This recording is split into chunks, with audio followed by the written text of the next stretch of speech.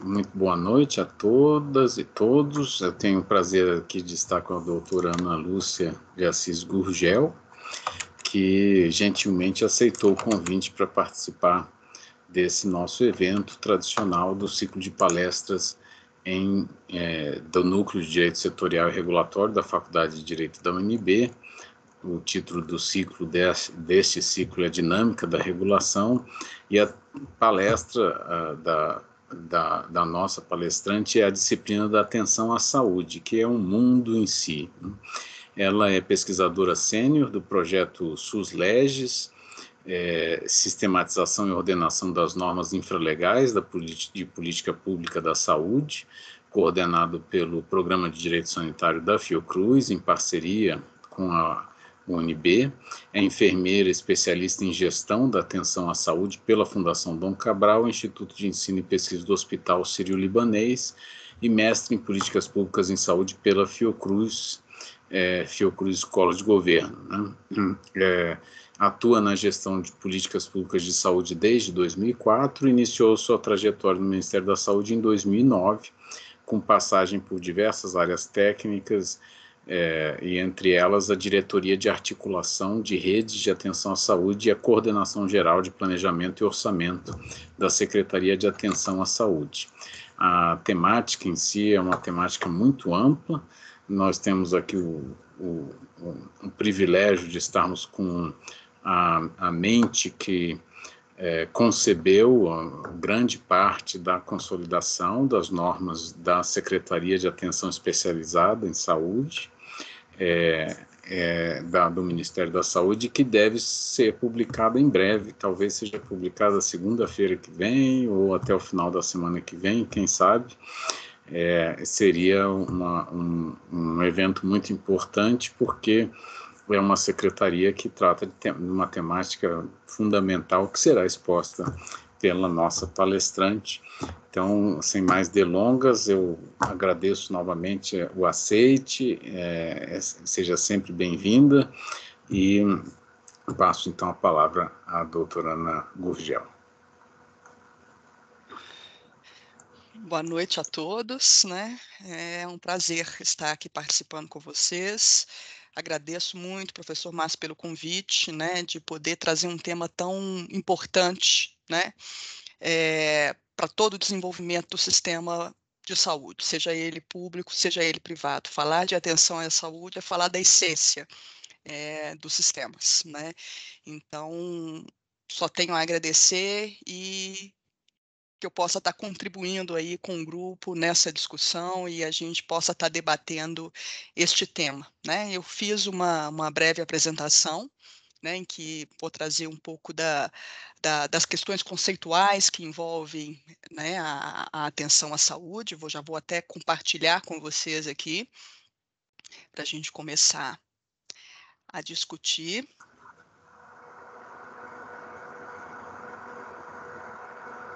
Agora sim, modo de apresentação. Estou, estamos vendo perfeitamente. Perfeito, bacana.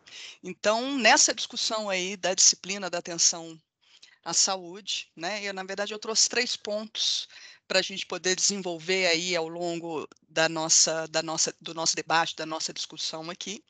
É, abordando primeiro, trazendo a, a, questão dos aspectos conceituais, né? E a própria relação uh, da atenção à saúde com a organização do sistema. Né? Então, aqui vamos discorrer um pouco mais para que vocês possam compreender um pouco melhor né, é, do que, que se trata quando a gente fala em atenção à saúde, do que é que estamos falando. Né?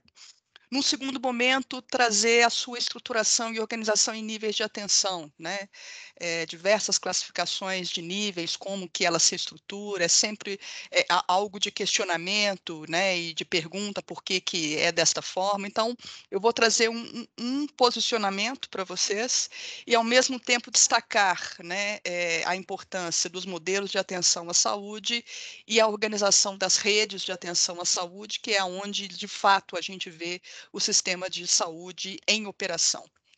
E, por fim, a gente trabalhar alguns desafios né, é, de regulamentação importantes e necessários para que a gente possa também ter uma atenção à saúde é, em plena execução, né? E que a gente possa vencer alguns desafios ou pensar em novos desafios aí que nos permitam avançar é, na implementação do modelo de atenção à saúde, na implementação da organização de rede, sobretudo, possa ter um sistema de saúde é, bem estruturado e com potencial de responder de fato às necessidades em saúde da população e cumprir né, aí a sua a sua função e, e, e, os objetivos que hoje estão consignados aí na nossa Constituição em relação ao nosso sistema público de saúde. Então, pensando aí no primeiro, no primeiro ponto, né, sempre quando a gente fala em, em, em atenção à saúde, né, é, a gente fala em atenção, fala em modelo, mas de fato a atenção, ou com a sua designação modelo, é a atenção à saúde que designa a lógica organizativa do sistema de saúde. Né? Então, por onde começamos, para onde come, come, começamos, para onde vamos, quais os arranjos institucionais e organizacionais que vão configurar as redes de atenção. A origem de tudo isso está na atenção à saúde, no modelo de atenção à saúde escolhido. Quando a gente fala em modelo de atenção à saúde, não é que, é que a gente quer estabelecer um padrão, não é para a gente ser é, um modelo único, fechado, não é uma burocracia. E o Jair Nisson Paim, ele faz essa, essa abordagem em relação à atenção à saúde, que particularmente eu acho bem interessante, porque ele imputa né, a atenção à saúde como a razão de ser, a racionalidade de um sistema de saúde. É uma espécie de lógica né, que vai orientar quais são as intervenções técnicas. Então, a gente não escolhe um, um, um, caminho técnico, a gente não faz uma escolha pela atenção primária sem uma lógica por detrás. Quem está por detrás desta lógica é o modelo de atenção. Né? Porque é aí que eu vou definir as intervenções técnicas sobre os problemas, as necessidades de saúde. Então, qual o melhor modelo de intervenção à saúde eu vou discutir a partir do modelo de atenção. O modelo de atenção é uma dada forma de combinar técnicas e tecnologias para resolver problemas de saúde e atender às necessidades, seja no campo coletivo, seja no campo individual. Né? É onde a gente cria a lógica entre é, a necessidade em saúde a tecnologia empregada, a prática clínica empregada. É a maneira como a gente vai organizar os meios de trabalho. Então, saberes e instrumentos utilizados na prática ou no processo de trabalho em saúde. O que tem sempre por detrás é um modelo de atenção à saúde. E aí o Eugênio, Eugênio Vilaça, né, é, que é um grande pensador né, em relação à, à discussão aí do sistema de saúde organização de redes de atenção à saúde aqui no Brasil. Ele traz esse conceito né, do, do que é o modelo de atenção à saúde, é, repetindo um pouco das palavras do Jair Nisson, mas é, é, trazendo a sua conceituação na articulação aí com o sistema de saúde, né? Ao dizer que um sistema, um modelo de atenção à saúde é um sistema lógico, que vai organizar o funcionamento da rede, articulando de uma forma bem singular as relações entre os componentes da rede e as intervenções sanitárias, definindo, em função da visão prevalecente da saúde, das situações demográficas e epidemiológicas e dos determinantes sociais de saúde vigentes em determinado tempo, em determinada sociedade. Então, quando a gente pensa a atenção à saúde, sempre é fundamental pensar e compreender em que contexto ela está sendo pensada.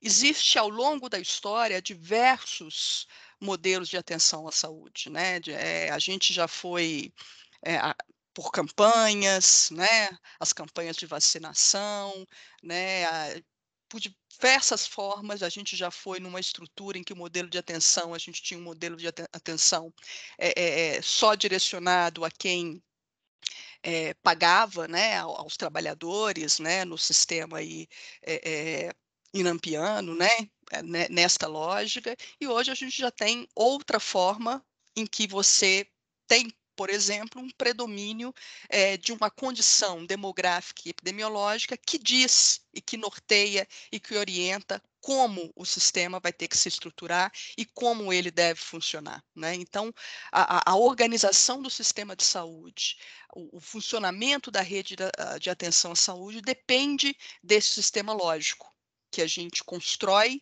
a partir de uma de como a gente enxerga a, a, a, a, saúde, de qual o conceito que se predomina na saúde, de qual é a situação demográfica, epidemiológica de uma determinada população em um determinado tempo.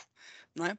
É, não adianta querer trazer o que era, né, ou, ou do que adoecíamos há duas, três, quatro, cinco décadas atrás e o que a gente tem hoje, né? E, é, a própria revolução daí dos antibióticos, né, como a gente a própria vacinação, né, o processo como a gente controlou as doenças transmissíveis nos mostra muito como ao longo do tempo a gente muda as nossas necessidades e esta lógica que está por detrás do funcionamento dos sistemas de saúde precisa é, estar sempre atenta, se atualizando e se ajustando.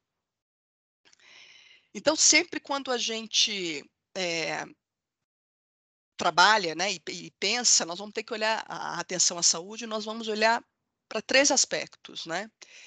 Primeiro, que é, é esse, de reconhecer, né, porque quando a gente fala que é o conceito de saúde, o conceito de saúde ele foi modificando ao longo do tempo, né?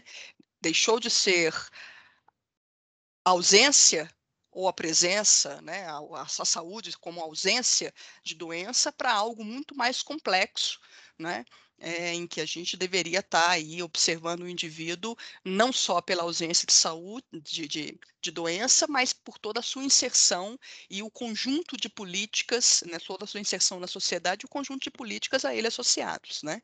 Então, reconhecer quando a gente está pensando a atenção à saúde, é importante reconhecer que proporcionar boas condições de vida e saúde para uma determinada população ou melhorar as suas condições vai implicar num cuidado preventivo, num cuidado é, curativo em relação às condições e à compreensão dos determinantes sociais da saúde com a escolha daquelas intervenções potencialmente capazes de influenciarem a mudança nas condições de vida e saúde por meio de políticas públicas.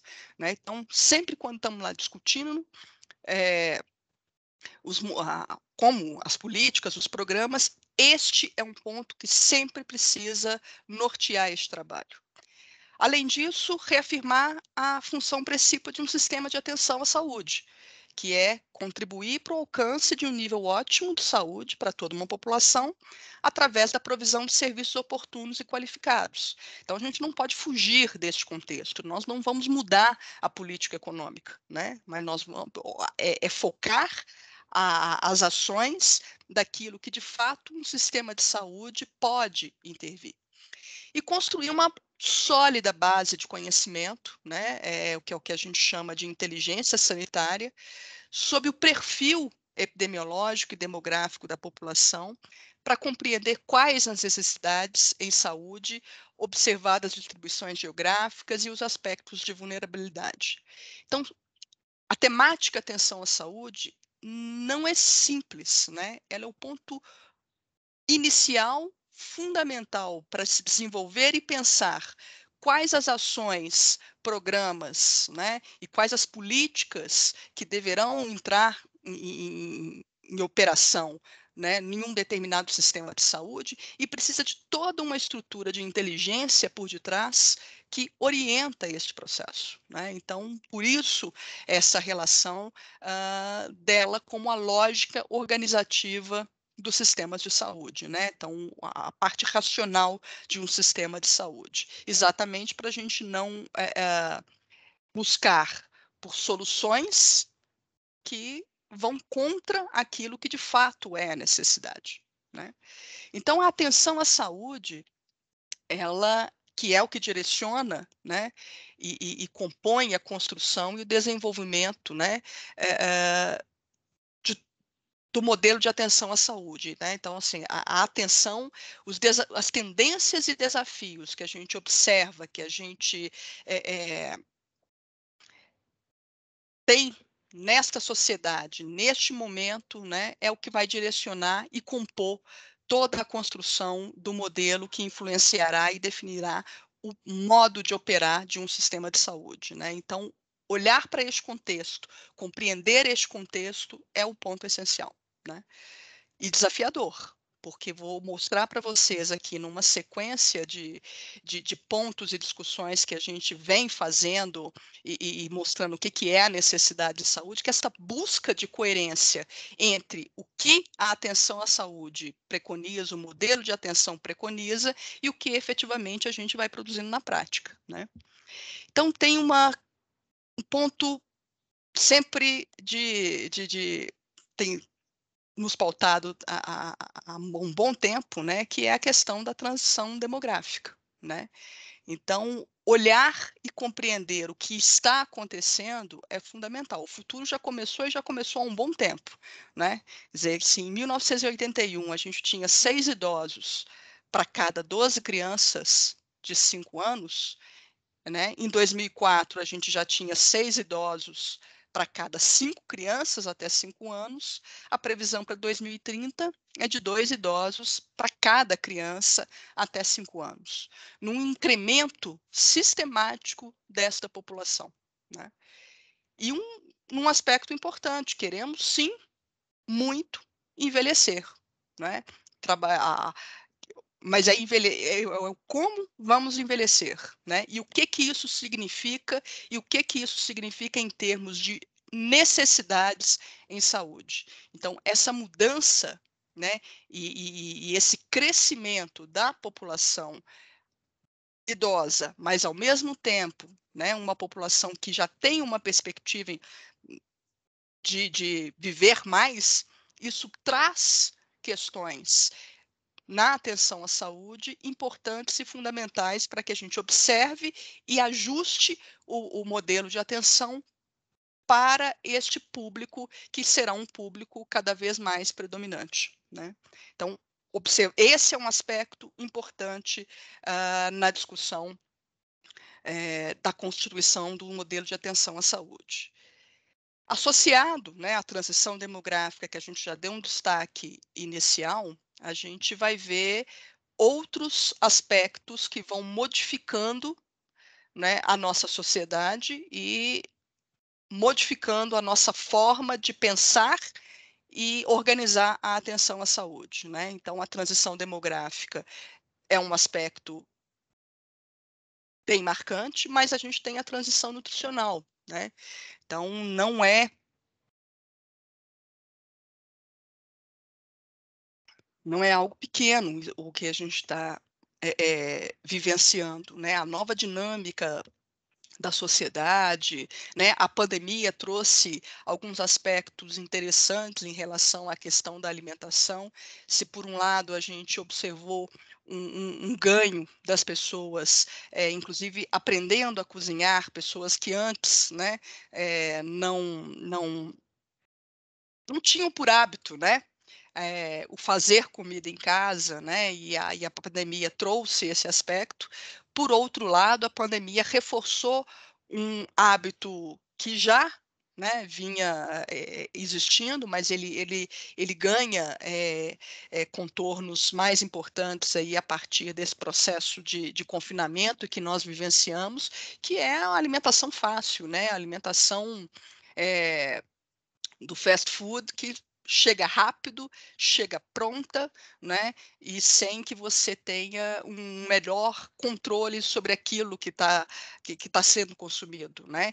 E esta transição associada, eh, essa transição nutricional, né? O, o consumo de comidas ultraprocessadas, né? Que é uma grande epidemia. A obesidade é uma epidemia importante para a gente para a gente acompanhar, ela vem associada a um processo de urbanização e modernização também, que às vezes que, que ex, nos exige menos esforço físico. Né? Então, você tem um consumo maior de alimentos ultraprocessados, associado também a uma comodidade né, e uma tranquilidade que a urbanização e a modernização nos trazem, né, de uma menor. Então, é, é, ao, ao invés da gente buscar a alimentação, né, fazer a caminhada para buscar, ela chega né, pela, pelos vários é, aplicativos aí de, de, de, alimentação, ela chega à sua porta. Né? Então, seu, seu esforço físico também reduz. Né? E esses três aspectos somados, transição demográfica, transição nutricional, processo de urbanização, têm relação, sim, com uma discussão de qualidade de vida, tem relação com uma discussão do impacto econômico, né? E tem um impacto social, e este conjunto impacta naquilo que vai determinar a lógica de funcionamento dos sistemas de saúde, né? Porque eu passo a ter uma condição epidemiológica, uma condição social que é determinante para que a gente ajuste as ações e os programas eh, de saúde as políticas de saúde, porque modifico a necessidade em saúde. Né? E isso a gente vai ver né, as consequências né, de todas essas transições que a gente vem vivenciando e vivenciando de uma maneira rápida, né, a gente vai ver naquilo que a gente conhece né, e estuda aí como os estudos de carga de doença. Né? É, e aí, um este é um indicador que cada vez mais os sistemas de saúde mundo inteiro é, vem trabalhando, né? que é os anos potenciais de vida ajustados por incapacidade e por morte precoce. Né? Então, esta avaliação né, é, ela é importante, se associa à questão do envelhecimento, envelhecimento desejável, né, que, que, que a gente tenha, mas um envelhecimento que pode estar associado à incapacidade ou mesmo à morte precoce, né, que acontece, e, e né, então os potenciais, os, os, anos potenciais de vida perdido eh, também é, em decorrência de, da morte precoce, que também de alguma maneira vai minando a nossa expectativa uh, de vida, né? Então aqui se discute muito esta questão do viver mais, mas eu preciso viver mais e viver melhor, né? Não viver com incapacidade. E estes esses, esse indicador, o daily, é um indicador né, é, completo, formado pelas suas partes aí, né, que envolve os anos potenciais de vida com, vividos com incapacidade e a morte, a morte prematura, né, os anos potenciais de vida por morte precoce. Então, acaba que este é um ponto importante e que hoje este debate do estudo de carga de doença vai nos direcionando para algo diferente do que discutíamos há um tempo atrás, né, em relação à atenção à saúde. Uma preocupação importante era a preocupação com a morte, né? com, a morbidade, com, com, com a mortalidade, né? do que morremos, né? É, era o ponto central de discussão e norteador aí das, da, da, da, das políticas. No entanto, há uma preocupação hoje com a discussão do daily, que é um ponto antes, né? quando a gente passa a entender o como vivemos. Né? E, e o viver com ou sem incapacidade faz uma diferença enorme. O envelhecimento com a preservação da capacidade funcional permite ter um grupo populacional ativo, um grupo populacional que é que como né, as pessoas, os idosos, os aposentados, um grupo populacional que consome, né, ele tem ele é ativo na economia, né, é, ele faz o país crescer, né? Então, envelhecer não é bom apenas por vou viver mais, mas eu vou viver mais e posso viver mais aproveitando, né, das diversas possibilidades uh, que a vida pode nos proporcionar aí em termos de conhecimento e de vivência, né? Mas para que isso aconteça, eu não posso perder minha capacidade funcional. E a atenção à saúde, ela precisa direcionar isso. É, ela se pauta o tempo todo em conhecer e reconhecer essas situações para poder, de fato, direcionar e ordenar como o, a rede vai funcionar, como o sistema de saúde vai operar. Né?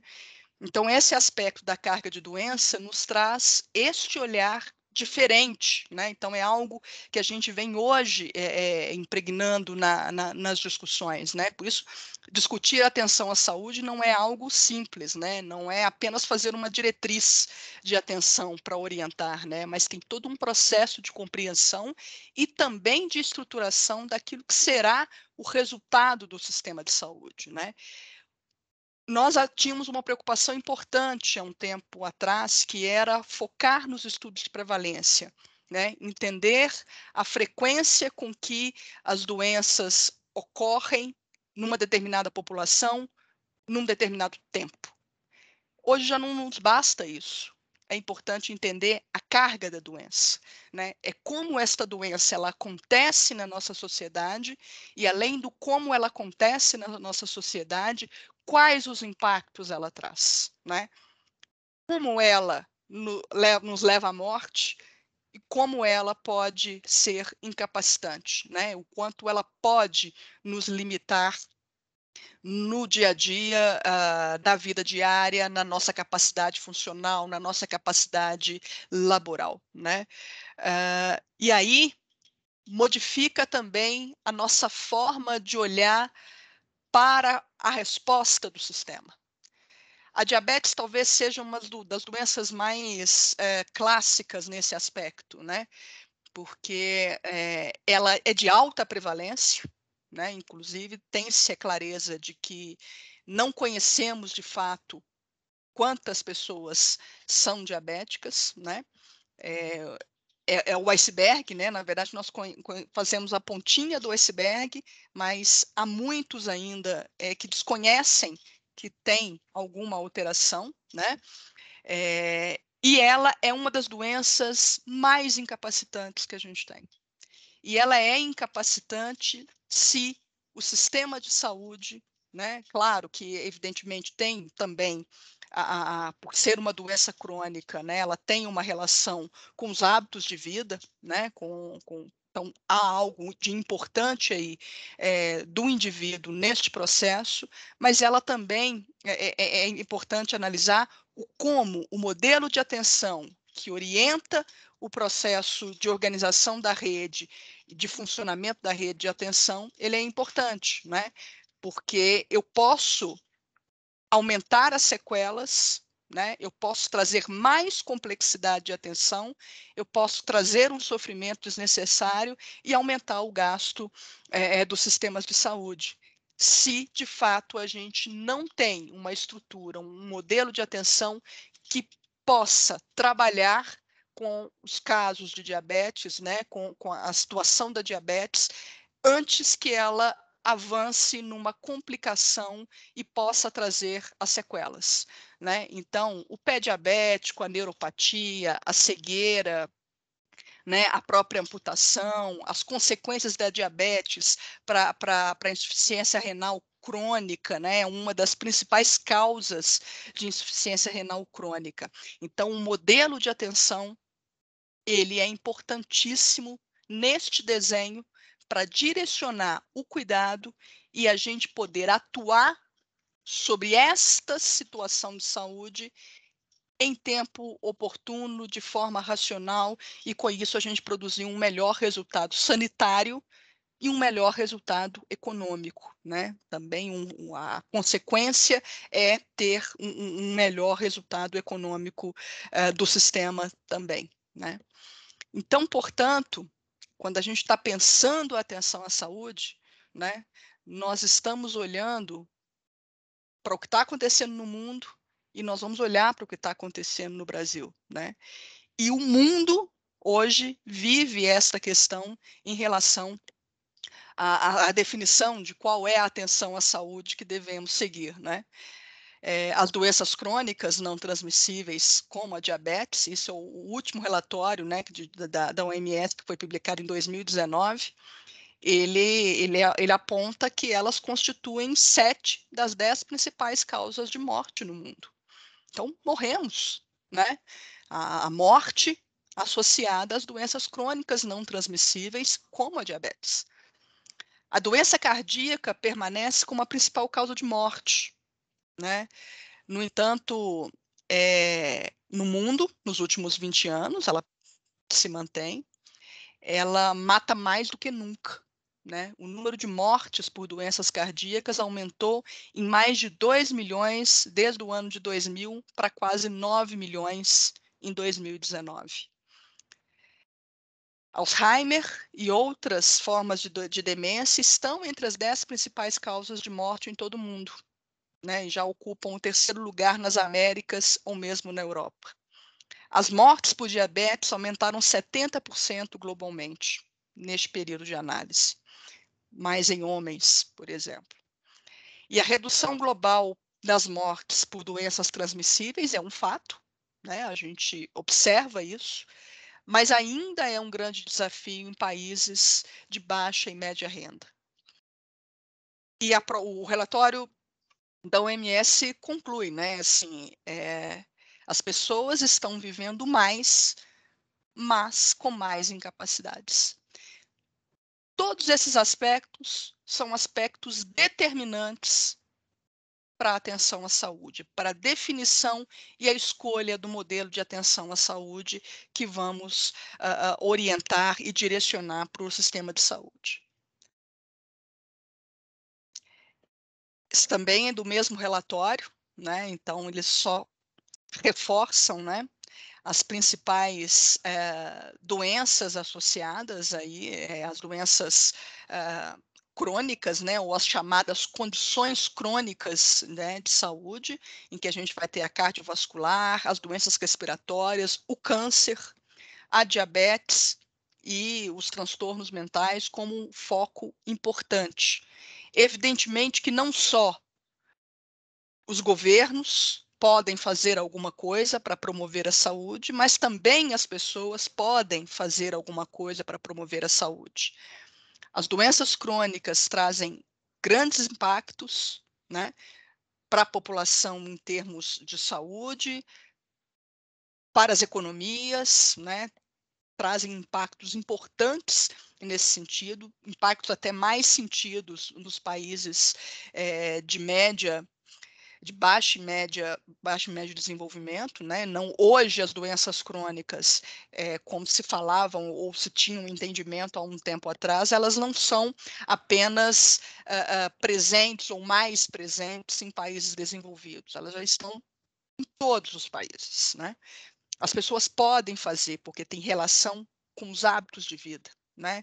É, então, tem um papel importante, mas tem um papel importantíssimo dos governos, seja no, na ordenação, né, para que a gente possa ter um, um, acesso universal né, dos cuidados de saúde, né, então garantia de acesso ao, ao, ao cuidado, mas também né, é, a gente ter uma política é, com um financiamento adequado, com um modelo de atenção adequado que permita a sua organização de maneira adequada a responder a esse cenário epidemiológico. Né? O desafio fundamental é esse né? É fazer com que na operação a gente tenha coerência com o modelo, com a situação de saúde que a gente que a gente observa, né?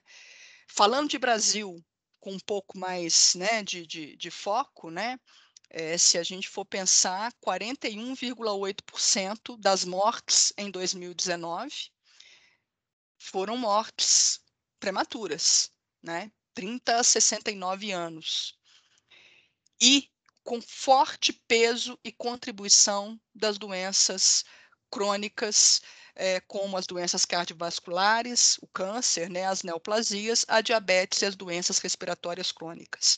Então, o contexto no Brasil, ele não é diferente do contexto que acontece no mundo, né? E isso nos leva a uma a, a pensar e a definir qual é o modelo que a gente precisa operar no nosso sistema de saúde para que dê conta disso tudo. né? É, e aí é aonde a gente encontra, né, no processo de estruturação dos níveis de atenção, né, na definição desse modelo e na organização das redes de atenção à saúde, os nossos, os nossos dilemas, né, as nossas dificuldades. Né. O fato é que a gente, com isso, a gente pode ter diversos modelos de atenção à saúde, mas hoje, neste contexto todo epidemiológico que a gente tem, a gente vai observar dois mais predominantes, né? É, e mais falados, que é o modelo de atenção à saúde às condições crônicas e aquele modelo de atenção à saúde às condições agudas, né? O modelo de atenção à saúde às condições crônicas é onde a gente vai ter o predomínio destas doenças crônicas não transmissíveis, ou mesmo de doenças que sejam transmissíveis, como a AIDS, a tuberculose, a hanseníase, né, ou os distúrbios mentais, mas que eles são de longa duração, né, de uma duração longa ou às vezes até mesmo indefinida, né, e que tem muita relação não só com a morte, mas com a produção de incapacidades. Né? Então, as condições crônicas são um elemento importante. E a lógica estabelecida num modelo de atenção às condições crônicas não é a mesma lógica organizativa e de funcionamento quando eu falo de condições agudas. Né? Então, condições agudas é aquela que é focada num tempo curto, é abrupto, né? e que o tempo é uma variável crítica né? Porque o tempo ele pode ser definidor entre o sobreviver, né, e a morte, né? Então são dois modelos de atenção que precisam coexistir, né?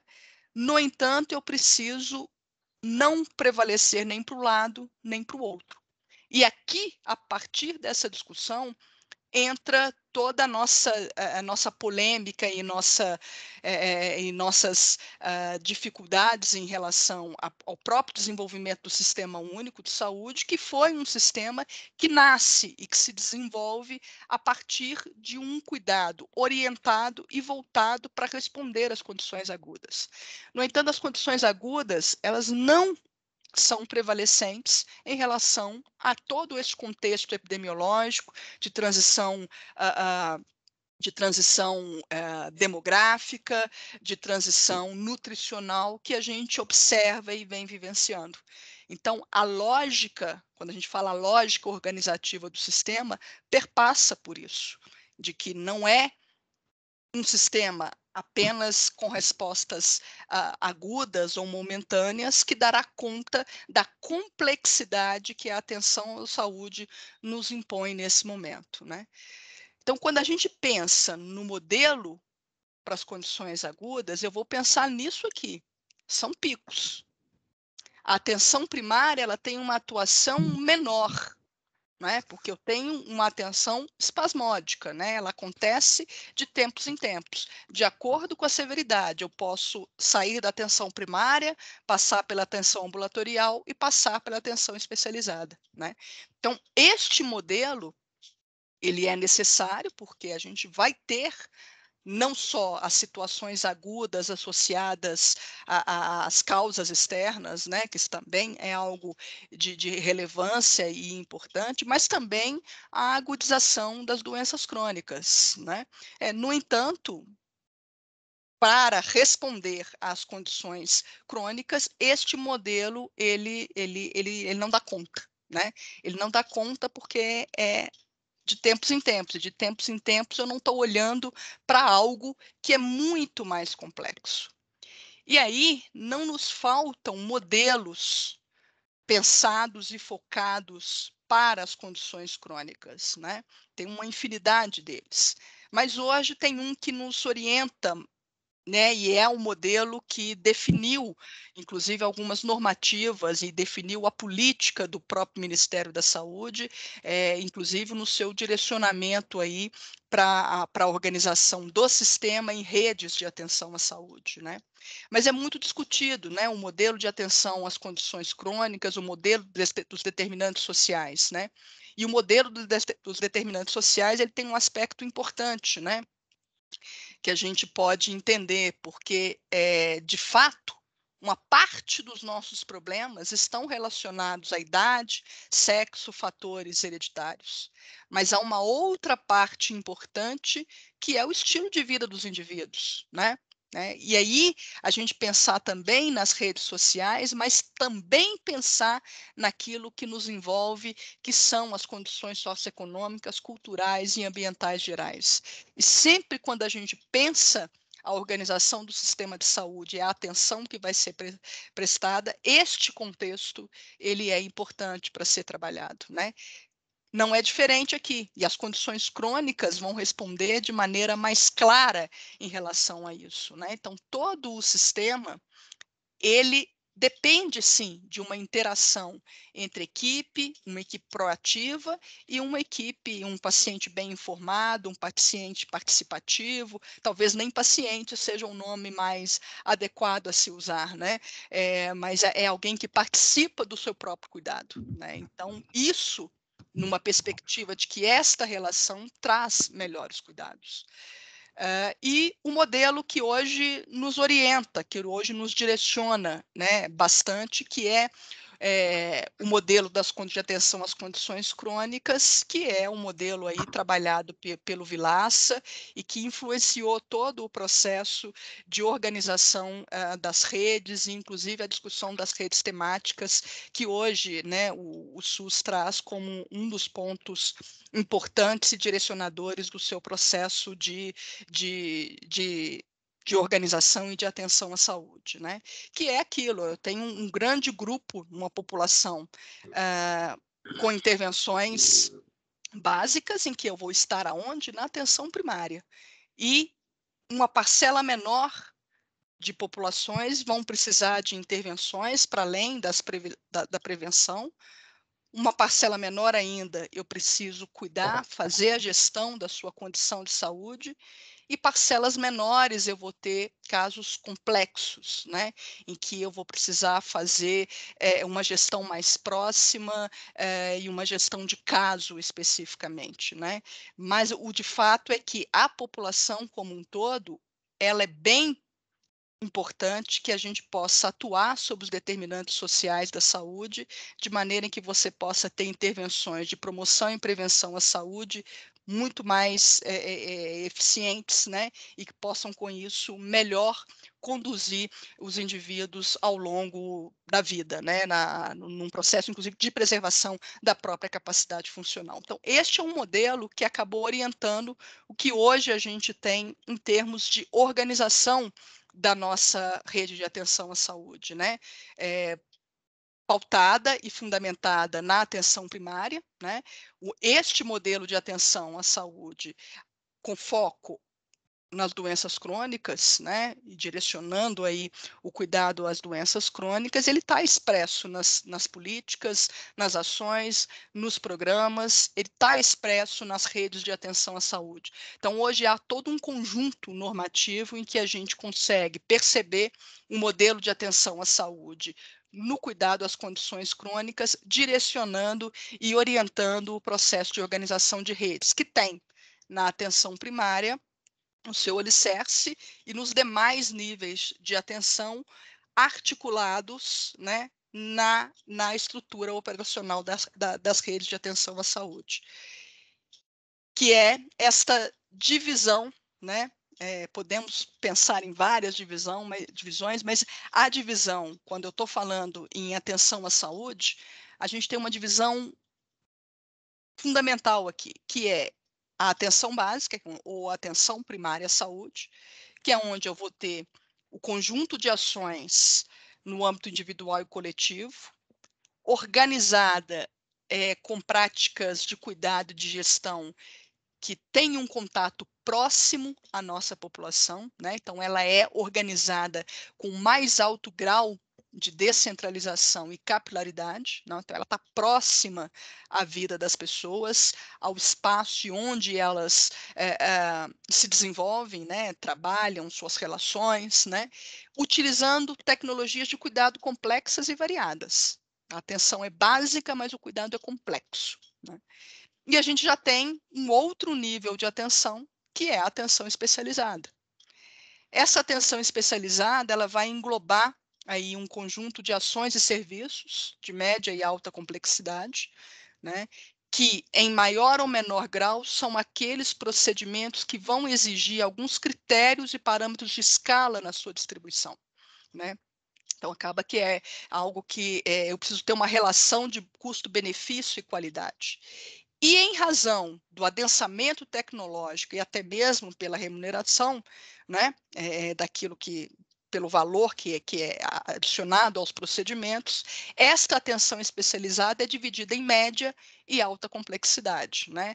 A média complexidade com aqueles procedimentos de menor adensamento tecnológico, enquanto a alta complexidade, aqueles com uh, um alto custo, alto adensamento tecnológico, aí nós estamos falando de tecnologia dura, né, de equipamentos e procedimentos é, mais sofisticados nesse aspectos e de alto custo. E esta divisão de média e alta complexidade, né, caracterizam a oferta no aquilo que a gente chama de nível secundário e terciário na estrutura operacional da, da, da, do sistema, ou na estrutura operacional da rede de atenção à saúde, exatamente pela, pelo, pelo adensamento tecnológico. Né? Mas hoje tem se feito muito mais a opção de se trabalhar atenção básica e atenção especializada de média e alta complexidade, né, é, para este entendimento que que faz com que a gente entenda esta divisão e organização em níveis de atenção pela sua complexidade, pela função que cada um destes níveis de atenção vão exercer na rede, vão exercer no sistema de saúde. Né? Com isso, né, e entendendo essa, essa, essa questão, eu trouxe três desafios que eu acho que são importantes para a gente pensar né, é, nessa organização, porque o cenário epidemiológico, o cenário de transição demográfica, o cenário de transição nutricional, a, a, situação mesmo das condições, sejam as crônicas ou sejam as condições agudas que conformam a atenção de saúde a ser prestada, para nós aqui no Brasil, para a, o Sistema Único de Saúde, há desafios importantes nesse processo. Pegar todo este modelo, entendendo toda a complexidade associada à atenção à saúde, é um desafio quando a gente pensa no cuidado regionalizado, quando a gente pensa nas diferenças regionais do país, né? O desafio de reduzir a desigualdade e promover o desenvolvimento das regiões de saúde como um caminho para a universalidade do acesso e integralidade do cuidado. É isso que está posto, né? Quando a gente olhar para a legislação, para as normas que orientam é, é, o, o Sistema Único de Saúde, isso está lá colocado. A regionalização está colocada como uma, uma, diretriz importante de organização do sistema. No entanto, não é algo fácil e nós não conseguimos ainda de maneira clara né, é, regulamentar de forma a, a, a, a, colocar na nossa regulamentação, ou, ou, pelo menos viabilizar, os mais diferentes arranjos regionais que este país pode produzir, né, na ideia de que não existe um único arranjo, né, a diversidade desse país é tão grande que não permite um único processo de regionalização. Né? É, não é a mesma coisa organizar o sistema de saúde, organizar a rede de atenção à saúde numa grande capital em que eu tenho, a, a, eu tenho uma gama e uma diversidade enorme de, de, de serviços e fazer a mesma coisa numa região amazônica, né? em que eu tenho uma população dispersa, em que eu não disponho de serviços e eu ainda tenho que lidar no processo do acesso a lidar com a questão da natureza que ali nos impõe, dos limites geográficos que se coloca né, é, é, nesse processo. Né? Então, esta é uma outra realidade, é um outro território, e não faremos a organização da rede de atenção, não aplicaremos um modelo de atenção à saúde nesse território como a gente aplica uh, em São Paulo, como a gente aplica em Belo Horizonte, em Curitiba, né? ou mesmo em, em municípios uh, do interior do Brasil, mas que, que tenham um certo grau de desenvolvimento e um adensamento populacional. Né? Então, é um desafio enorme a questão da regionalização. Um outro desafio que envolve regulamentação também é o financiamento. Né? Nós temos um financiamento hoje fragmentado, um financiamento uh, que de fato a sua alocação ela não reduz as desigualdades, mas ela este financiamento ele foi ao longo do tempo privilegiando aqueles territórios, aquelas regiões que já dispunham de serviços. Né? Então, como que nós vamos levar mais financiamento para onde não tem serviço, se o histórico de procedimentos ele não vai ter se algum dia ele não tiver serviço? Né? Então, compreender as diferenças regionais e as necessidades é fundamental e eu preciso, de fato, normatizar. Né? É, a Lei 141 que diz da necessidade do rateio, né, que a gente as regras para o rateio dos recursos federais carece de implementação. Né? Então, trecho da lei, né? como que a gente operacionaliza né? e estabelece um modelo de alocação de recursos que seja um modelo indutor do processo de regionalização que cumpra o papel redistributivo né, da União né, e como um mecanismo importante de coordenação federativa e que esteja alinhado ao modelo de atenção né, e ao desenvolvimento do modelo de atenção necessário para a gente poder responder ao desafio epidemiológico que, que nos coloca. Né? E, além disso, a, a gente tem o desafio também da articulação federativa. Assim, o, o, o SUS é um sistema de saúde de base territorial, né? A regionalização prevista, né?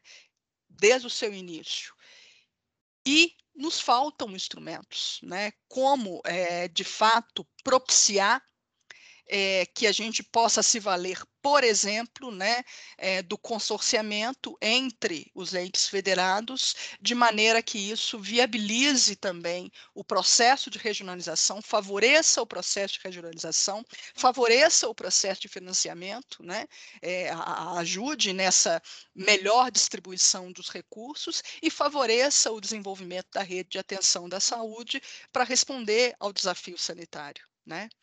Então, um fato é que a regionalização entra na agenda de implementação do SUS a partir dos anos 2000, mas ela entra na agenda sem de fato estar sendo operada, né? Não basta uma organização em regiões de saúde, né? É, é preciso dar condições de funcionamento para essas regiões de saúde. Então, a regionalização, não há dúvida que ela é um aperfeiçoamento técnico-político do SUS, né? mas é preciso implementar, é preciso conformar e ter regiões de saúde com potencial de atender, né? É, que, que, tenham condições de organizar a, a sua rede, tenham financiamento adequado para isso. Existe hoje, quando a gente trata de regionalização, é inegável que existe um esforço de regulamentação, né? A própria consolidação aí da CIT nos mostra isso, né? É, o decreto 7.508 também, que traz é, a questão da regionalização de forma importante, a conformação das regiões de saúde, o planejamento regional, né, a importância da regionalização para o bom desenvolvimento das redes. Né? Mas é, a gente precisa avançar no sentido de tornar é, o, o, normativo que traz em termos conceituais de maneira muito clara né, o que, que se entende por, por, por, regionalização, mas é, a gente precisa criar as condições para que essas uh, regiões, de fato, elas possam operar, não basta existir. Né? Eu não, para dizer que eu tenho regiões hoje, as 438 regiões de saúde. Não é dizer que eu tenho as regiões de saúde, mas é como elas estão e como elas operam. Né? Esse discurso tem sido um discurso intenso na CIT nos últimos tempos, né? esta perspectiva de avançar na melhoria da regulamentação relacionada à regionalização, de forma a viabilizar a sua implementação e direcionar as ações, os programas e as políticas para que a gente possa ter uma implementação numa lógica regional. Né? E é claro que num cenário de restrição de recursos, né, só se fala em eficiência e sustentabilidade do sistema, e isso é fundamental que aconteça, mas isso só se tornará possível se é, é, a gente puder ter um, um, uma atuação cooperativa né, é, entre os entes né, em prol daí do, do sistema de saúde. E só para a gente pegar mais alguns pontos, né, é, nessa construção desses três desafios que, que, que eu coloco em termos de regulamentação, que a transferência é e sempre será né, importante no, no, sistema de relação federativa no Brasil. Então, a gente precisa entender cada vez mais as transferências federais e o potencial que elas têm para induzir um processo de organização das redes alinhado aí com o modelo de atenção à saúde é, a ser implantado, né? A, a implantação né, e o uso de instrumentos institucionalizados para favorecer os acordos intergovernamentais, isso é fundamental, né? Temos aí a PPI ou a PEGAS, né, como instrumentos importantes, mas que precisam ganhar o seu valor de uso, né, nesse processo, né?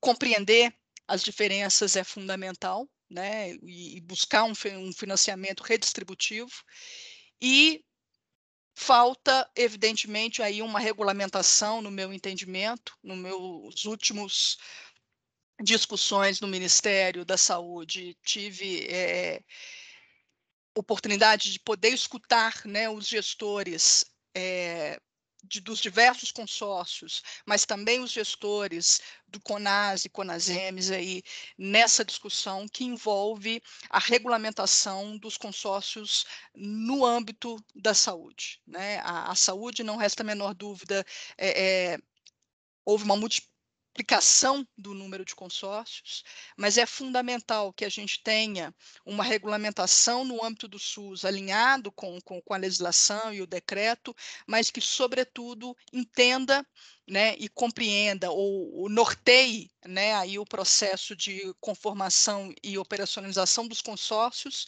alinhados com os princípios e diretrizes do SUS, não numa lógica competitiva, mas numa lógica de ser um instrumento que viabiliza, inclusive, aí a, a relação entre os entes, né, viabiliza a, a, possibilidade, inclusive, de um financiamento numa perspectiva regional, né? Então, é, é, hoje a gente já observa, né, e não, não é uma regra, mas diversos consórcios públicos eles foram constituídos sem observar o processo de regionalização, sem observar o processo de conformação das regiões de saúde, né? E este é um ponto importante, né? É, não só a regionalização e a conformação e os consórcios estarem alinhados com isso, mas sobretudo um alinhamento também ao modelo de governança uh, do SUS, né? Que tem aí na relação interfederativa, na relação uh, dos, da secretaria secretarias estaduais, secretarias municipais e ministério, né, em toda esta cadeia de, de tomada de decisão é, e de discussão das políticas do sistema de saúde, que é importantíssimo. Né? Então, os gestores do sistema né, são é, é o Ministério da Saúde, as secretarias estaduais de saúde e as secretarias municipais.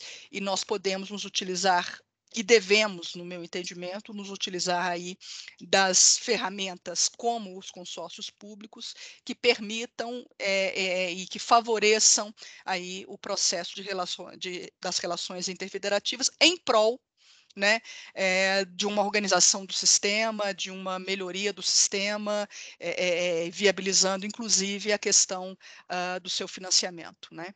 Então, essas são algumas reflexões é, que faço aí dos nossos desafios é, regulamentares é, e encerro por aqui a essa minha primeira apresentação aí e, e esses pontos aí que trago para vocês para a gente poder discutir em relação à atenção, à atenção à saúde. Muitíssimo obrigado, é, doutora Ana Gurgel. Como você deve estar percebendo, aquilo que eu falei aconteceu, né? Acabou a luz aqui no Lago Norte inteiro. Opa! Mas eu felizmente consegui aqui a luz de vela é, ouvi-la toda, toda, ouvi toda a, a, sua exposição, foi muito interessante. Eu acredito que eu deveria ter pedido essa exposição há muito mais tempo, né, para podermos entender melhor a forma como o Sistema Único de Saúde funciona.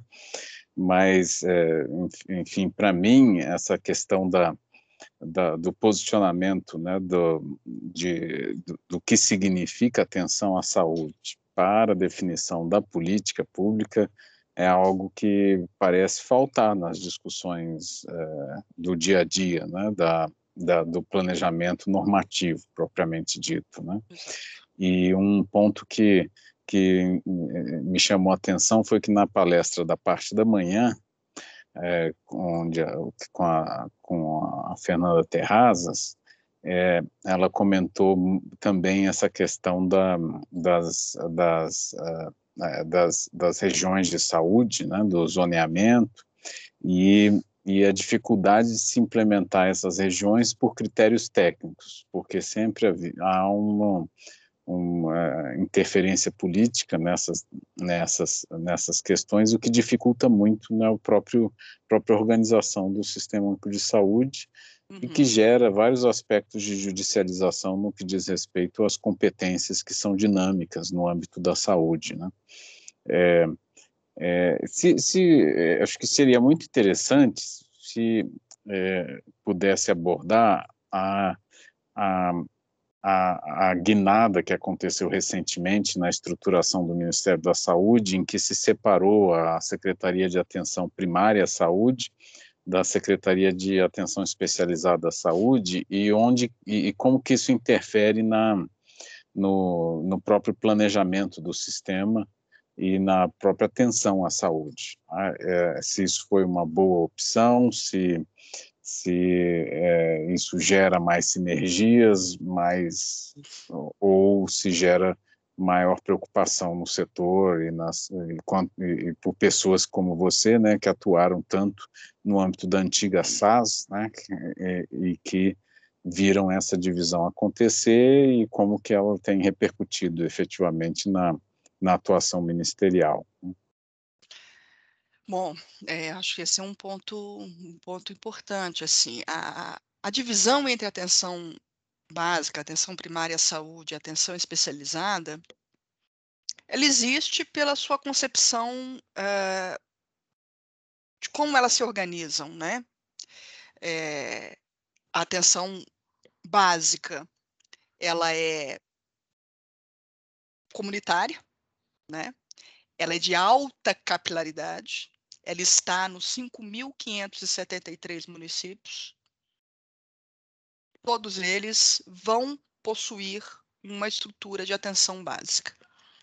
Ela é totalmente voltada para a comunidade, né? Então, ela conhece a população, ela tem uma proximidade, ela conhece os municípios pequenos, por exemplo, você conhece as pessoas pelo nome, né? Você tem uma relação extremamente próxima. Né? É aquela equipe que conhece você, conhece a sua família, conhece aonde você vive.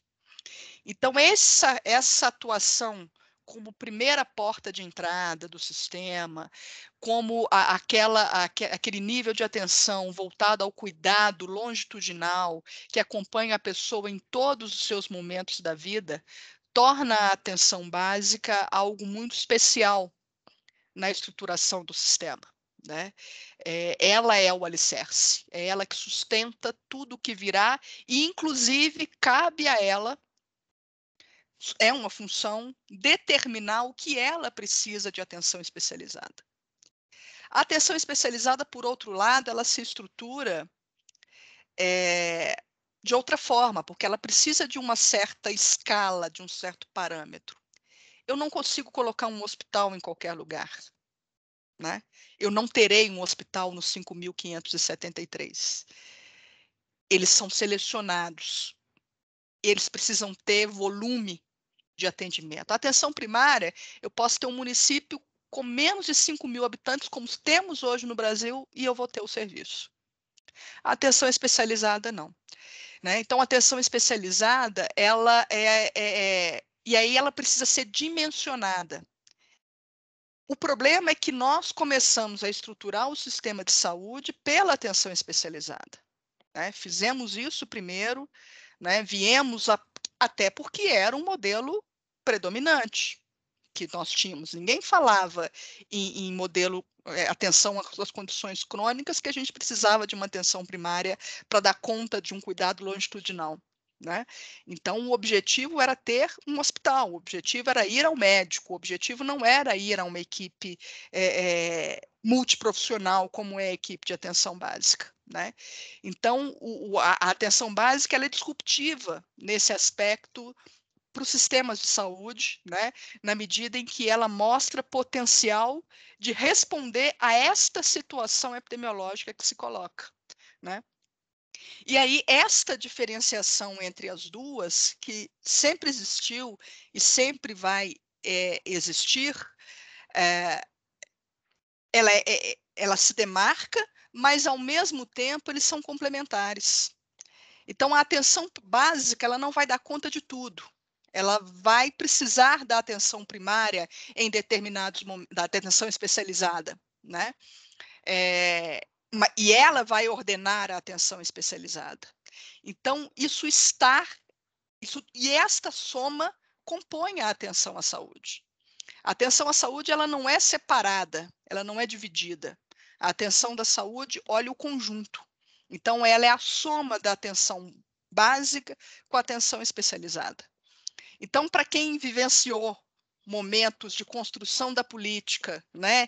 construção das redes de atenção à saúde, em que eu tinha a atenção básica no, no seu alicerce é, é, e na articulação com os demais níveis de atenção, é, essa ruptura de discussão da política, ela pode ter implicações, sim, né?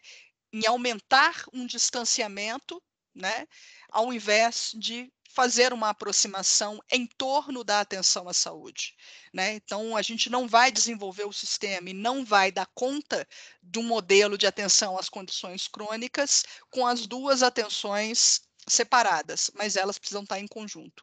Então, eu acho que tem. É, é, é, vai depender, não, não que não possa ser haver a divisão, né? ela pode acontecer e administrativamente pode acontecer, mas é, para mim, são dois aspectos. Esse, de que a gente precisa ter muita capacidade de articulação para fazer a junção, né, e, e, não dar uma, uma concepção quebrada, né, é, em relação à atenção à saúde, e o outro problema que é a competição dos recursos, né, Sempre quando você faz uma, uma divisão dessa, os recursos que já são poucos e precisam ser bem direcionados, eles podem passar, a gente pode passar a competir internamente também por um recurso que precisaria se somar para a gente sair desta lógica de financiamento uh, fee for service que a gente tem hoje, né, para um financiamento uh, em, em, em desempenho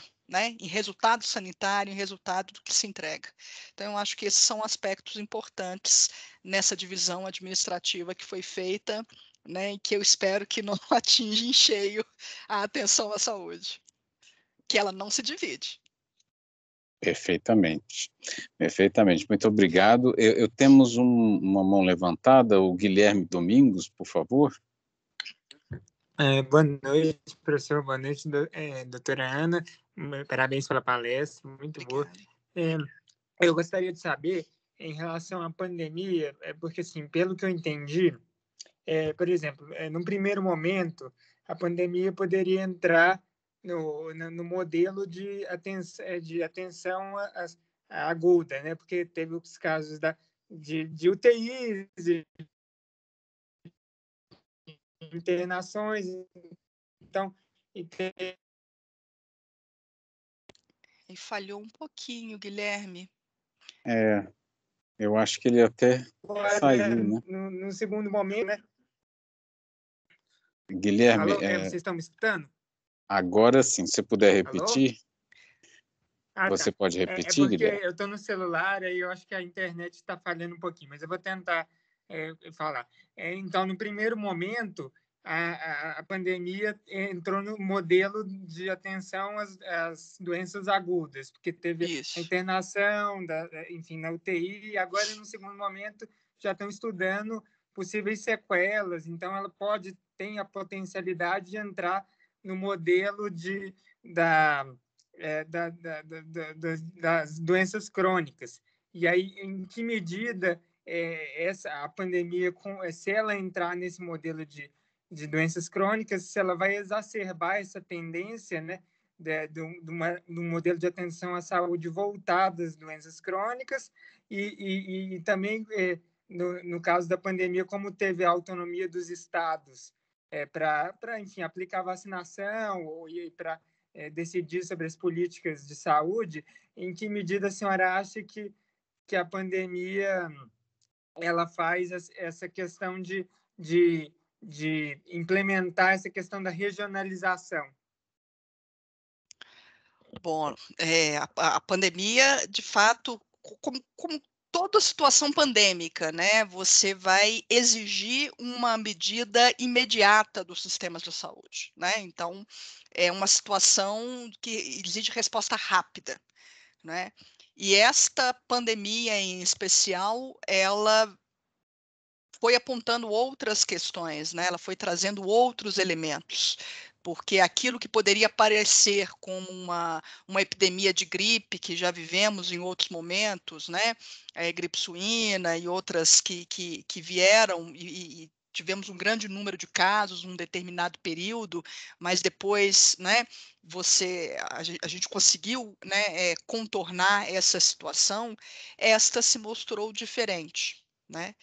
E hoje a gente já fala em COVID fase aguda, né, que é aquela relacionada nos 14 dias aí, que a gente pode ter sim os sintomas, pode ter uma necessidade de atendimento, pode ter até mesmo uma internação, né, e uma internação que pode até se prorrogar para além do, dessa fase aguda dela de 14 dias. Mas já se discute de maneira importante e se discute nas implicações que isso vai ter para o sistema da chamada pós-Covid, ou Covid longa, ou Covid crônica. É, então, esta característica de produzir sequelas, a gente já sabe que a Covid tem.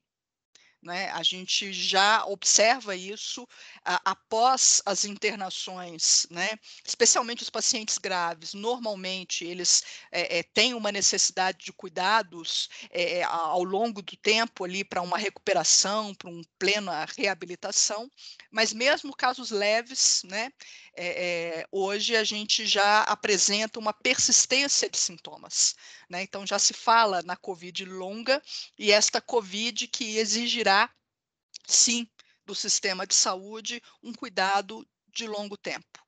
Quanto tempo vai durar né, esse quadro e se de fato ela pode produzir algo incapacitante, né, uma situação incapacitante, é, é, os estudos e, e, e, a prática clínica daqui para frente, eu acho que vão nos indicar como isso vai acontecer. Mas você já tem, você tem razão. Ela tem a sua fase aguda e me parece que persistirá a, a existência dessa fase aguda, mas ela já se apresenta numa situação de cronicidade, né? Inclusive a própria OMS já pensando aí, talvez já poderá categorizar essa, a, a COVID como uma, uma doença crônica, né? E isso vai exigir dos sistemas é, capacidade de identificar e responder a isso, né? A atuação dos estados né, nesse processo, né, foi visível a necessidade é, de se avançar na discussão da regionalização. Né? Municípios sem hospital, né? municípios sem respirador, municípios sem UTI. A dificuldade ficou explícita né, para esses municípios e a necessidade de cooperação entre eles para que a assistência possa, possa acontecer. Né? Então, a própria Fiocruz, a, né, a professora Margarete Dalcom fez alguns estudos, outros pesquisadores também, mostrando a, a, o vazio assistencial nas regiões de saúde, né, e apontando para esta necessidade é, de que a cooperação federativa ela seja um, aconteça, né? Não seja apenas a cooperação no sentido de que eu sou um município de referência, então, portanto, o recurso financeiro vem para mim. Você que não tem hospital, você que não tem estrutura de atenção especializada, você só recebe recurso de atenção básica. Ok, eu só recebo recurso de atenção básica, mas a minha população contabilizou para o recurso uh, no, no, na atenção especializada. Né? Eu tenho uma pactuação ali feita, então eu não pode ser uma pactuação de papel, né? Tem que ser uma pactuação efetiva que aconteça. Então a regionalização ela é fundamental e a atenção especializada não vai se desenvolver de forma adequada para atender e para poder de fato é, é, suportar a atenção básica se ela não for regionalizada.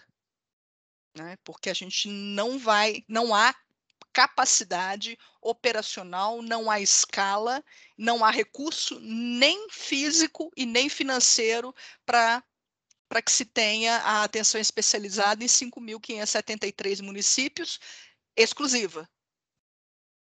É possível ter por 5.573 municípios na cooperação federativa.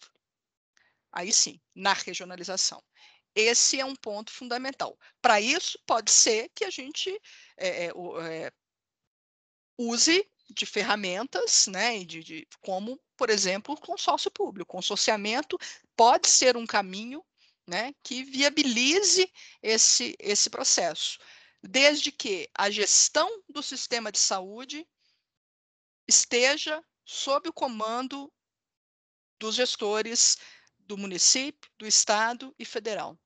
Né? Não há uma transferência desta competência para o consórcio. Né? Esse é um ponto. O consórcio ele não pode é, é, ocupar o espaço que é do gestor na definição e na, na, na, na condução da política pública de saúde. Eu queria aproveitar, tem uma pergunta por escrito que coincide exatamente com a sua conclusão, é, é do Eduardo Gentil, ele pergunta, gostaria de perguntar para a palestrante como seria o funcionamento dos consórcios públicos na área de saúde. Seria o caso de acordos feitos entre dois ou mais entes federativos na área da saúde, por exemplo, DF Goiás, visando prover melhor atendimento ao entorno de Brasília e DF? É, o, o que o consórcio permitiria é isso, né? Que, na verdade, houvesse uma acordo e um mecanismo que possibilitasse que esse acordo acontecesse, né? Na operação. É, o que a gente é, e esse é um cuidado importante é ele, ele não ocupar um espaço que não seja uh, aquele espaço definido e determinado pelo gestor da saúde. Né? Então, quando a gente fala desse alinhamento com as regiões de saúde, é porque não nos faltam consórcios que têm como objeto, às vezes até exclusivo, saúde, que ocuparam territórios que são territórios outros em relação à regionalização. Não é? ele, ele, ele não segue o desenho um desenho técnico. Por mais que, como, como Fernanda colocou, o desenho técnico tenha problemas. Né? Nós não estamos dizendo que a regionalização está dada, está pronta, tem muito ainda a se desenvolver, né? muito ainda a pensar. Né? Mas esse cuidado ele é importante, porque eu, eu não posso criar duplas entradas né, de, de, do usuário. Eu não posso criar entradas privilegiadas para o usuário, por exemplo. Né? Então, a gente tem que ter um, uma organização que que, que permita que o consórcio seja bem utilizado para favorecer e viabilizar que os pactos né, e os acordos entre os entes aconteçam. Né? É, mas quando ele é constituído, construído fora desta lógica, ele pode competir. Competir, inclusive, pelo mesmo serviço contratado. Né? Então, eu, eu tenho um serviço num determinado município que é, ele está sobre de todo, de todo o serviço, ele está sob gestão do município sede, né? Então, ele está ali e ele atende a uma determinada região de saúde, porque ele está na PPI, por exemplo, mas ao mesmo tempo, por ser um filantrópico, ele vendeu seus serviços por um consórcio que está em outro território. E aquele serviço, né, ele está sob a gestão de quem, de fato? Né? E, é, e você passa a, a ter um serviço é, é, que pode não estar dimensionado de maneira adequada. Né? Eu posso ter um mesmo leito financiado pelo consórcio, financiado pelo município, financiado pelo Estado, pelo Ministério. Né? E às vezes para o mesmo paciente. Né? Então, essa, esta questão de quem é o gestor né, do, da, da, rede de serviços que está ali, né? E, e, então, por exemplo, o, o, seu consórcio ele segue o desenho, né?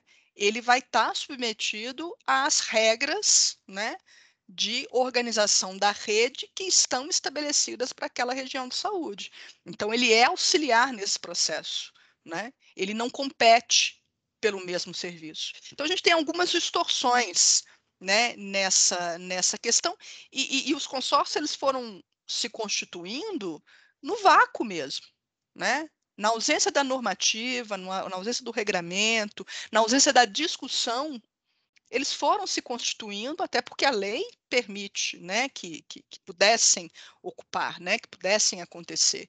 Mas isso pode criando sistemas paralelos, né, e, e fugindo a, a, a, essa, a essa capacidade e esse potencial de comando, né, porque afinal de contas o SUS é comando único né? Então não, não, é, não é uma entrada livre, né? Então é, esse comando único, esse direcionamento da política, ele é fundamental que aconteça e que aconteça na relação tripartite estabelecida para o sistema público de saúde. E que é um diferencial que, que importante, né? De que não tem um sobrepondo sobre, sobre o outro, né? Mas é, por mais que um possa ter mais recursos, né? Mas o recurso é para viabilizar a, a organização e o funcionamento do sistema. Então, na verdade, a determinação da alocação, o rateio, né, como eu coloquei a questão do financiamento, é, o rateio é um acordo tripartite não é só um posicionamento federal. Né? Não vai haver uma divisão sem que esse acordo não seja construído entre os entes. Né? Então, a gente tem algo bem legal e importante desta, dessa relação entre eles e que a coordenação do nível nacional ela é importante, em que pese é que, né, até o Guilherme citou essa questão da pandemia que funcionou de uma maneira um pouco diferente nesse aspecto, né, com, com autonomia de tomar decisões. E autonomia de tomar decisões sanitárias, na verdade, sempre teve.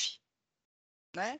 O que, o que, o, mas o importante é que a, a construção do SUS sempre foi uma construção tripartite, sempre foi uma construção articulada. Né? Então, é, é, essa, essa forma e, a, e esse modo de fazer é, foi importante, inclusive, para a gente ter um nível de atenção básica que a gente tem hoje e a possibilidade de desenvolver. Né? Nenhum programa nasceu. Na verdade, as redes de atenção à saúde, as experiências de redes de atenção à saúde e mesmo de atenção primária, os primeiros casos, o programa Saúde da Família não nasceu no nível federal. Ele nasceu na experiência de municípios, na experiência de estados. E depois essas boas experiências acabaram alimentando o que hoje é a política de redes né, e a política nacional de atenção básica. Né?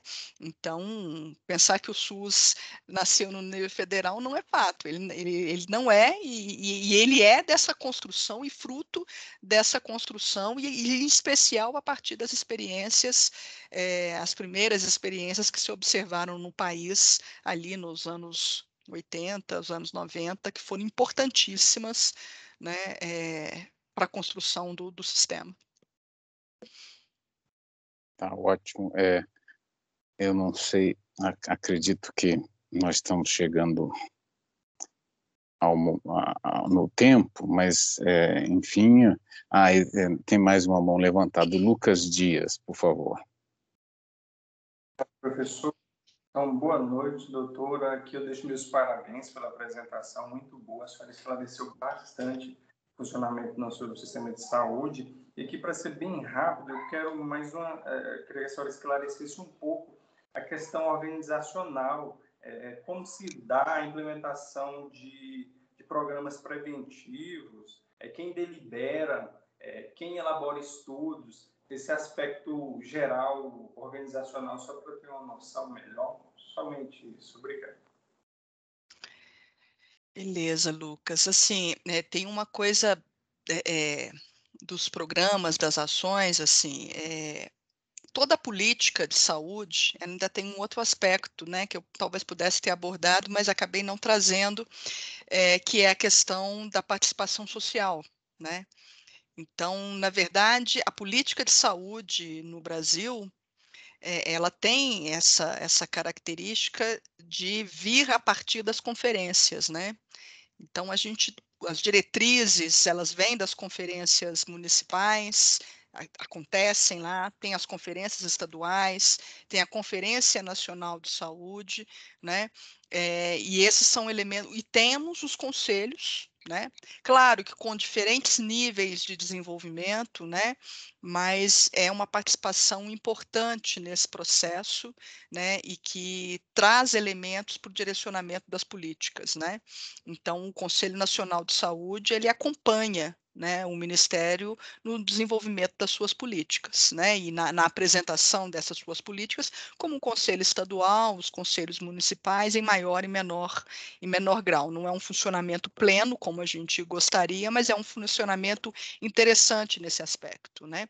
E aí as políticas de prevenção, de promoção à saúde, é, elas vêm né, e, e, tem este debate né, é, no nível das conferências, mas é hoje na estrutura, por exemplo, do Ministério da Saúde, que tem até uma certa replicação nos estados e municípios, a gente tem a Secretaria de Vigilância, que é quem faz os estudos epidemiológicos, né, constrói esse, esse racional, dá, traz os boletins, né, é, faz o acompanhamento das doenças crônicas, faz o acompanhamento do Plano Nacional de Enfrentamento das Doenças Crônicas, né, então a gente tem este grupo, né, e a gente tem os grupos que são direcionados e que trabalham com a prevenção e a promoção à saúde, né, então a gente tem as diretrizes, né, é, também acordada tripartite, né, que vão alimentar e direcionar o processo de construção das políticas.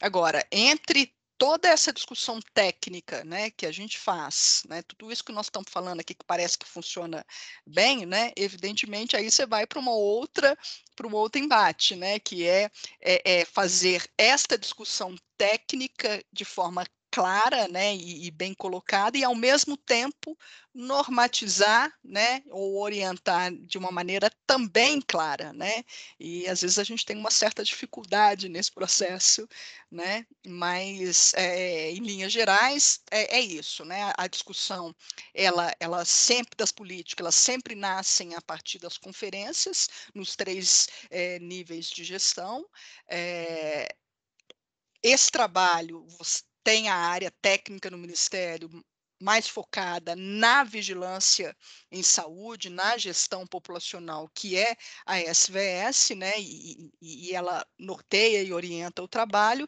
e as áreas né, SAIS, atenção especializada e atenção SAPS, atenção primária, né, trabalham e desenvolvem as suas políticas e programas, né, e estas políticas e programas, antes de qualquer processo, elas são objeto de discussão e debate no âmbito da tripartite. Né? Então, também nenhuma diretriz de prevenção ou diretriz de promoção à saúde, ela é publicada ou sai sem que essa discussão ela seja feita nesse, nesse fórum aí de discussão dos gestores dos três, dos três níveis. Né? Então, é sempre após esse processo que as nossas portarias né, são efetivamente publicadas. No que concerne mais a questão de diretrizes de atenção, diretrizes clínicas, né, hoje, um espaço que cada vez vai se consolidando mais nesse, nesse processo é a Conitec, né? Que aí é onde não só a incorporação tecnológica né, de medicamentos, equipamentos, procedimentos acontecem, mas também as diretrizes de atenção né, que aí tem a ver se é, é um cuidado com a condição crônica, com uma determinada doença, né, este processo técnico de construção, de análise das melhores intervenções baseada em evidência, passam por hoje pela Comissão Nacional de Incorporação de Tecnologia, com a, a atuação, evidentemente, não só da, da Secretaria de Tecnologia e Saúde, mas, sobretudo, das, das secretarias que que produzem, né, ou, ou, farão a implementação dessas diretrizes, como a SARS, né, que é da atenção especializada, faz isso de maneira frequente e intensa, né, assim, essa parceria com a Esquiti na aprovação das diretrizes e protocolos assistenciais. Bom, muito obrigado, realmente muito esclarecedores e quanto mais você fala, mais gente pergunta coisas aqui. É. É, nós já estamos no tempo, mas uh, afinal há mais uma mão levantada e uma pergunta por escrito, mas evidentemente vamos dar o privilégio à a, a, precedência à mão levantada. Então, por favor, a última pergunta, Luana. A Luana estava com a mão levantada. Oi, oi, eu pois abaixei não. agora, professor, estou aqui. Pois não. Bom, primeiramente queria dar boa noite, né, para o professor Márcio, para a professora Ana Lúcia. E a minha pergunta tem a ver hoje com cuidados paliativos, né? Tem uma autora que também é médica que eu gosto muito, eu não sei se a professora Ana Lúcia conhece, mas ela se chama Ana Cláudia Quintana Arantes. E ela tem, ela fala de umas questões importantes, né, sobre cuidados paliativos. E durante a sua excelente palestra, né, claro, é, a gente viu que existem um, modelos, né? E a gente tem esse, esse modelo de, de atenção básica, primária à saúde. E a minha pergunta é a seguinte: a, a pessoa, por exemplo, que, que se encontra né, nesse estado, com uma doença, que precisa ser, ter essa, essa interdisciplinaridade, né? Porque o cuidado paliativo ele não é somente com o médico, né? Ele integra uhum. várias áreas. Temos a psicologia, temos a enfermagem, enfim, temos várias áreas. A minha pergunta é a seguinte: a pessoa que ela se encontra assim nessa situação pelo SUS, ela poderia procurar é, ajuda a partir da atenção básica? Onde ela encontraria essa ajuda? Assim, a minha pergunta. Bom, os cuidados paliativos é, perpassam todos os níveis de atenção, né? E ele não, ele não é é, é, exclusivo de, da atenção especializada ou da atenção básica, né? O que nos falta, né, na verdade, aí, Luana, nos falta ainda, né?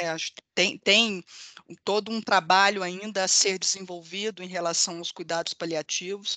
Há diversas experiências uh, no país muito interessantes, né? A, a, inclusive a equipe lá da, da, do DAET, né, que é o Departamento de Atenção Especializada e Temática lá da SAIS, vinha abrindo esta porta de discussão, né, para de fato a gente poder estar tá norteando e orientando o sistema na organização, né, é, é, da, desse cuidado importante, né? E como que ele pode acontecer ou até mesmo ser financiado, né? Ele acontece, né? Buscar a atenção básica é importante, porque a atenção básica ela pode direcionar isso na rede, né, e encontrar os parceiros aí na rede é, que possam auxiliar e ajudar, porque de fato o cuidado paliativo ele é, ele tem que transitar né? Até porque às vezes nessa situação busca-se estar mais em casa, né, no cuidado domiciliar, né? Então a atenção básica ela é fundamental, mas ao mesmo tempo ela precisa de orientação, ela precisa ter é, é, é, o acesso quando necessário a um serviço de atenção especializada, né? Há experiências bem interessantes. O INCA tem tem tem um trabalho bem legal em relação ao cuidado paliativo, né? Mas ainda é, é uma política que não está desenhada, né?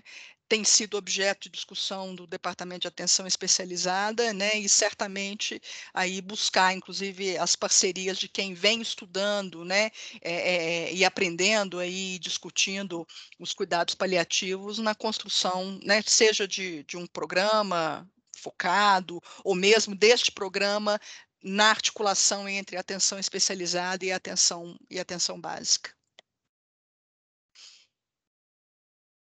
Bom, muito bem. Muito obrigado, doutora Ana Gurgel, foi super esclarecedor. Me desculpe por eu estar aqui no, na penumbra, mas realmente oh, não, mas... não, tinha como evitar isso. É, é, mas realmente foi muito esclarecedora a sua exposição. É uma pena que nós não tenhamos mais tempo, existiam algumas outras questões por escrito aqui, mas enfim, é, nós somos obrigados a encerrar a a, o evento, agradecendo muito a presença da, da doutora Ana Gurgel e esperando que possamos contribuir, é, contar com a sua colaboração no futuro, mas eu realmente espero mesmo poder contar com a sua perseverança no projeto de, de consolidação, porque a sua presença realmente é fundamental. Então, é, antes, é, sem, é, encerrando o evento, mas sem antes passar a palavra à, palestrante para que ela possa a, fazer a despedida e nós encerrarmos oficialmente o evento. Perfeito. Obrigada, Márcio. Eu que eu que agradeço né, a oportunidade de poder estar discutindo e fico à disposição. Se quiser me mandar, eu deixei meu e-mail aí. Eh, se quiserem mandar perguntas, né, sempre à disposição aí para a gente a gente poder debater, né, e, e ajudar aí né, na, na, na, nossa construção, né, esse debate é sempre importante, né, para todos nós, né? Então fico aí à, à, disposição e agradeço muito, né, a vocês, agradeço pelas pelas perguntas, pela atenção que né, nesse momento nosso aqui e fico à disposição, Márcio. Tá? Eu, eu que tenho a agradecer. Muito obrigado. Então, deixe-me encerrar a gravação.